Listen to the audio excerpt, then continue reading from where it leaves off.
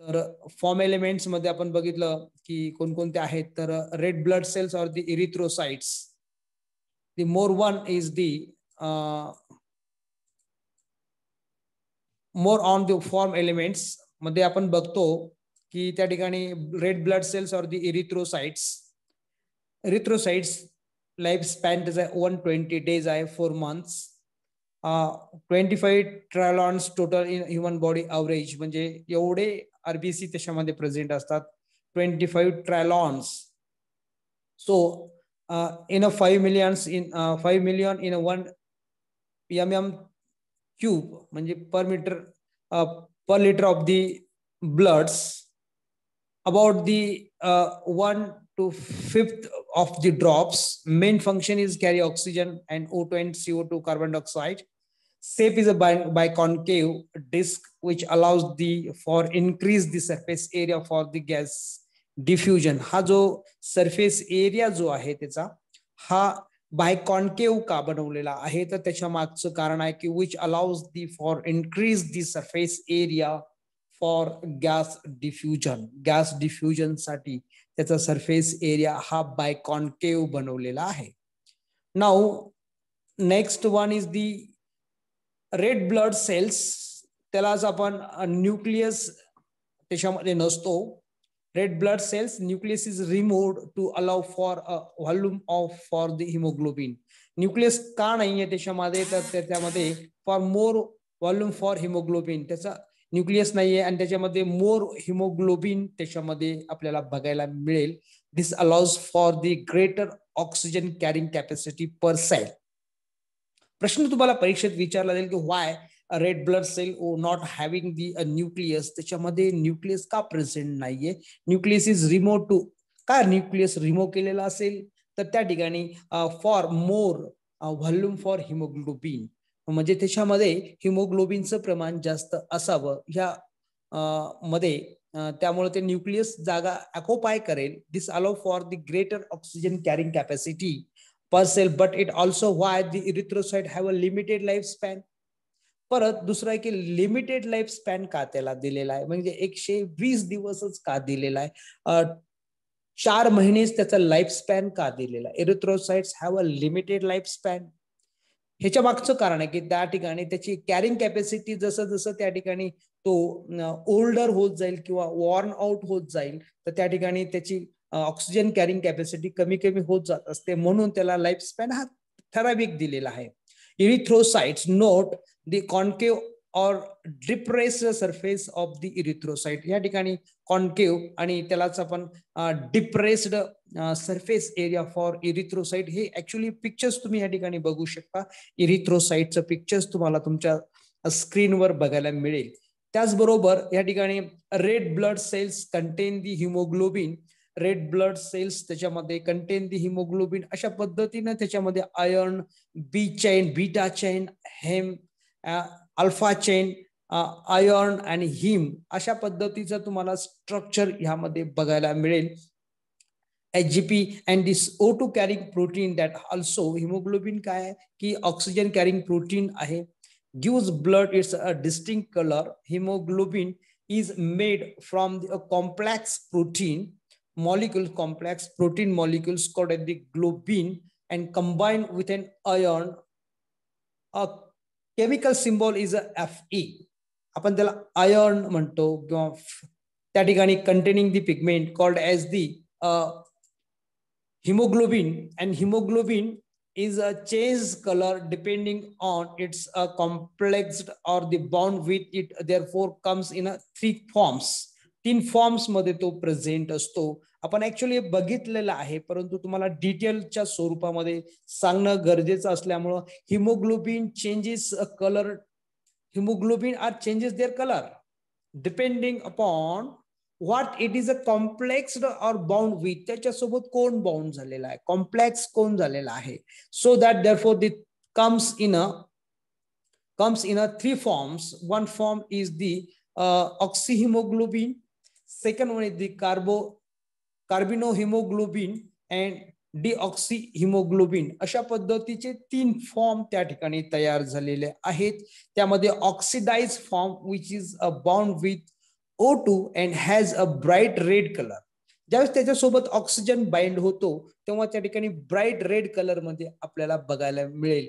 So that आणि carb haemoglobin जर त्याच्यासोबत कंबाईन झालेला असेल म्हणजे कार्बन डायऑक्साईड त्याच्यासोबत कंबाईन झालेला असेल his has form that a bound with the carbon dioxide म्हणजे हिमोग्लोबिन सोबत कार्बन डायऑक्साईड जर बाउंड झालेला असेल तर त्या ठिकाणी त्याला काय म्हणायचं? Car carbaminohaemoglobin carbaminohaemoglobin. आणि तो कसा दिसतो? Is a darker more burgundy colour एकदम डार्क दिसतो.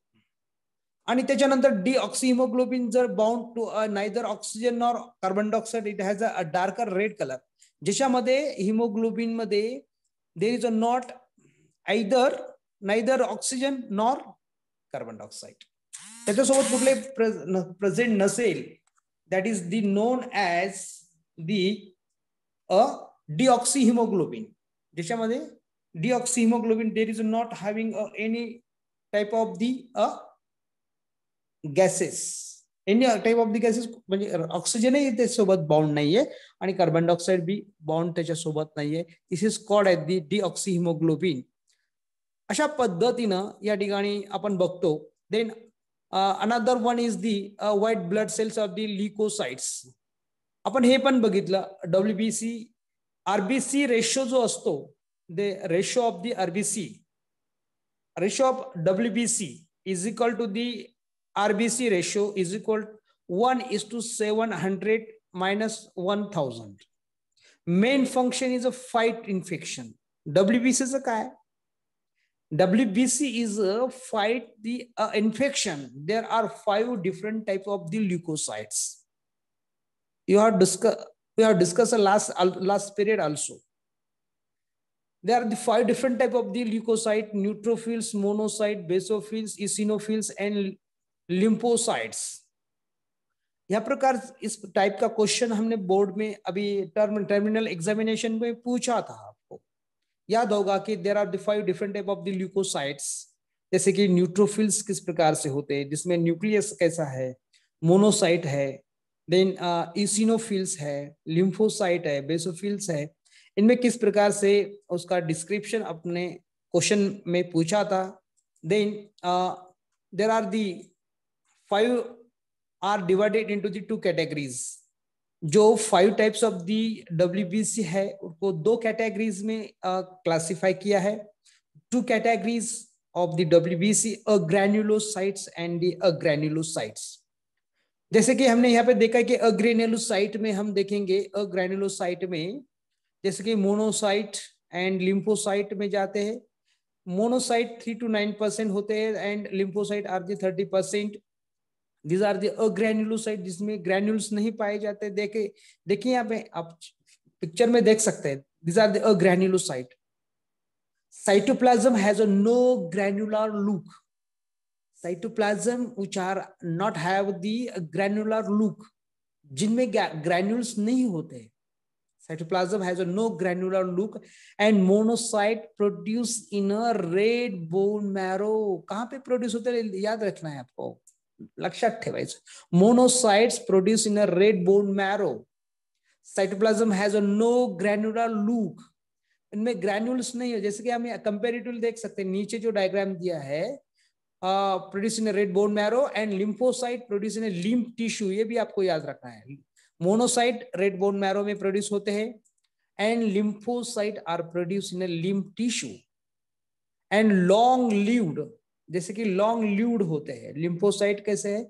लॉन्ग ल्यूड है।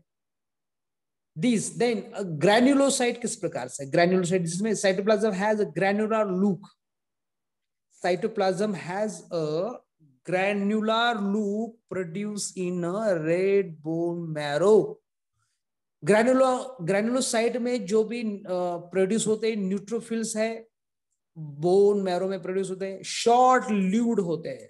बहुत कम समय के लिए होते हैं। न्यूट्रोफिल्स सिक्सटी परसेंट होते हैं बेसोफिल वन परसेंट होते हैं eosinophils two two four percent पाए जाते हैं। Cytoplasm has a no granular has a granular look जैसे अग्रेनुलोसाइट में ग्रैनुलर लुक नहीं होता है ग्रैनुलोसाइट में ग्रैनुलर लुक होता है, जैसे कि उनमें ग्रैन्यूल्स प्रेजेंट होते हैं। हम देख सकते हैं, यहाँ पे ये ग्रैन्यूल्स है, ये ग्रैन्यूल्स है, ये ग्रैन्यूल्स है, ये ग्रैन्यूल्स है, ये। ये देखिए यहाँ पे सभी प्रकार के सेल में ग्रॅन्युल्स पाए जाते हे। म्हणजे याच्यामध्ये ग्रॅन्युल्स आढळतात म्हणून त्याला ग्रॅन्युलोसाइट्स म्हणतात. त्याच्यामध्ये न्यूट्रोफिल्स असतील बेसोफिल्स असतील इसिनोफिल असतील. ह्या पद्धतीनं डब्ल्यूबीसीचं दोन कॅटेगरीजमध्ये त्याचं वर्गीकरण केलेलं आहे. त्याला म्हणतो ग्रॅन्युलोसाइट आणि अग्रॅन्युलोसाइट अग्रॅन्युलोसाइटमध्ये दोन प्रकारच्या सेल येतात आणि ग्रॅन्युलोसाइटमध्ये तीन प्रकारच्या सेल येतात. So the five type of the WBC, then a platelets or the thrombocytes. Platelets और द थ्रम्बोसाइट हम इसको क्या कहते हैं? Thrombocyte actually non nucleated cellular fragments है। इनमें किस प्रकार के न्यूक्लियस नहीं होते? जैसे कि डब्ल्यू आरबीसी में न्यूक्लियस नहीं है। Actually non nucleated cellular fragments cell के जैसे होते फ्रैगमेंट है लेकिन। They function in the process of they function in a process of the hemostasis hemostasis which are the simply stoppage of the bleeding stoppage of the bleeding blood को stop करने के लिए bleeding को stop करने के लिए रक्त गोठण्यासाठी बाय फॉलोइंग मेकॅनिझम्स म्हणजे प्लेटलेट्स ह्या रक्त गोठण्याच्या प्रक्रियेमध्ये ब्लड क्लॉटिंगच्या प्रोसेसमध्ये ब्लड कॉग्युलेशनच्या प्रोसेसमध्ये अत्यंत महत्त्वाचा रोल परफॉर्म करत असतात. That is known the stoppage of the bleeding and these are the platelet blocks and blood clot formation platelet blocks तयार करतात. जसं की आपण त्या ठिकाणी एक प्रकारचं स्टॉप करण्यासाठी जे प्लग्स तयार करतो कॉटनचं प्लग असतं. जसं की एखाद्या इन्स्ट्रुमेंटला कोनिकल फ्लास्कला ते इव्हॉपरेट होऊ नये म्हणून त्याला त्या ठिकाणी वरून कॉटन प्लग लावतो. म्हणजे कॉटन प्लग कसं जसं त्या पद्धतीनं असतं तसं या ठिकाणी प्लेटलेटचं प्लग तयार होतं. ब्लड क्लॉटिंगच्या प्रोसेसमध्ये प्लेटलेट एकत्र येतात आणि त्या ठिकाणी ते रक्त गोठवलं जातं थांबवलं जातं ब्लिडिंग स्टॉप केली जाते.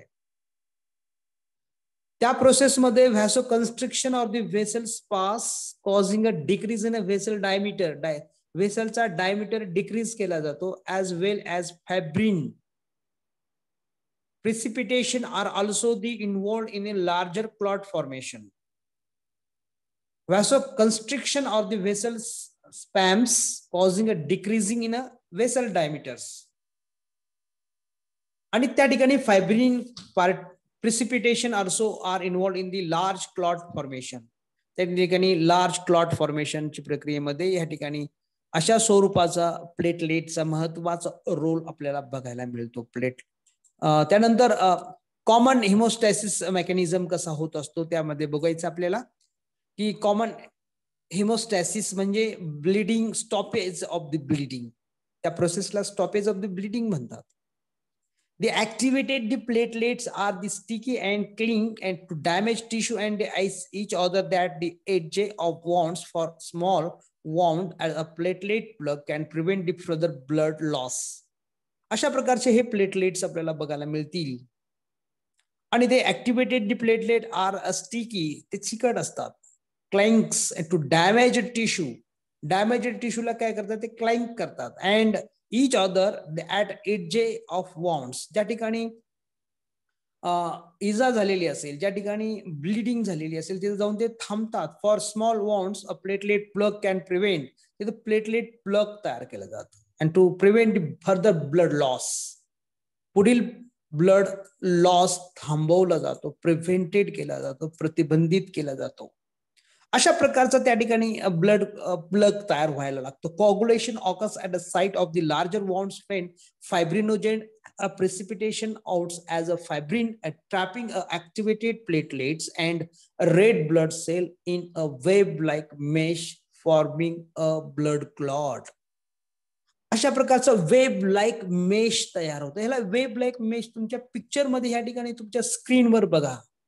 अतिशय काळजीपूर्वक बघा की कॉग्युलेशन ऑफ ब्लड कशा पद्धतीनं ही प्रोसेस होते. Coagulation occurs at the site of larger wounds ज्या ठिकाणी खूप मोठी इंज्युअर्ड झालेला असेल ब्लिडिंग खूप प्रचंड प्रमाणामध्ये होत असेल.